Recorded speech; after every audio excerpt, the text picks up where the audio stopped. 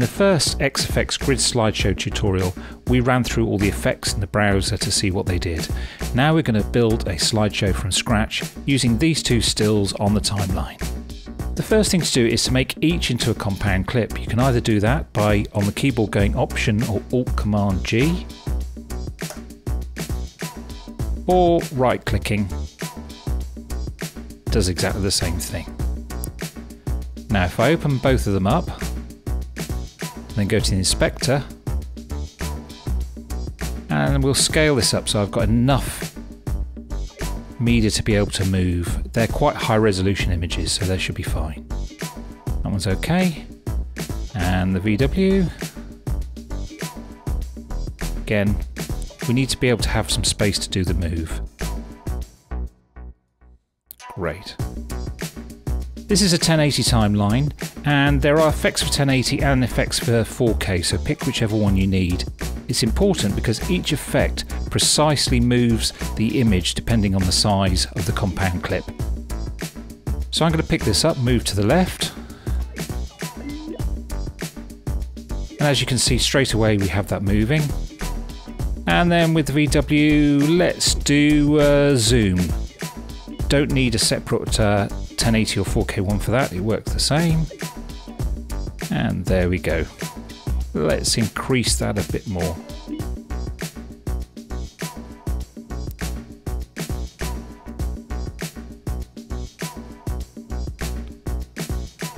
Starting to look good. Right, let's put some grids over the top. For the first clip, the man, I'm going to make that into quarters. So go up to the grids, drag that down, like that. And then for the VW, we use the ninths. We used the sixteenths in the demo video, but um, I don't want to have to move each of those little panels. So let's do, um, yeah, let's do ninths for that. That's looking good. On each of the grids, there are various controls. You can, of course, push the lines up, use a different color, so you could do black, white, or your choice. You can pick a color um, and build in and build out so you can have the grid fade on or fade off. And you can also put a little drop shadow on. I don't know if you can see that. There we go. Not for this one though. Make that the same length. Here is where it gets interesting. Underneath the grid, but above the VW picture, I'm going to put some offsets in. And what that does, it splits the picture up into tiles, and then you have full control over X, Y, scale and rotation of each tile on, on the picture.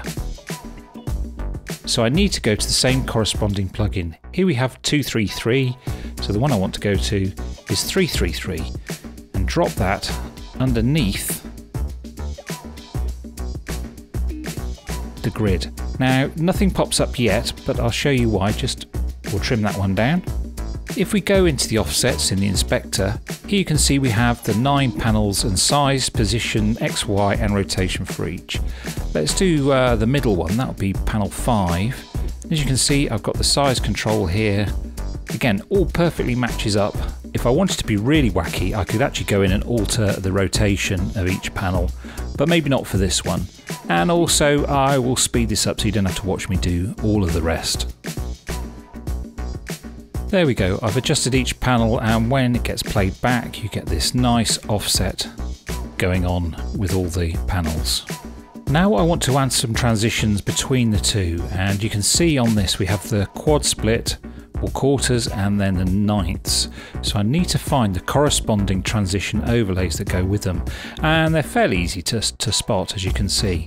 So let's drop this one on, which is quarter into white. And then we're going to do exactly the same, um, but with the ninths. And you can see here, now we have transition between the two. Really quick way of building a good looking slideshow. And you can cut and paste, mix and match, whatever you like. Uh, just tinker around with it to get a great looking slideshow. A really good way of spicing up some stills. And in the next tutorial, we're going to look at some advanced techniques of using some masks and also varying the white patterns to randomize them.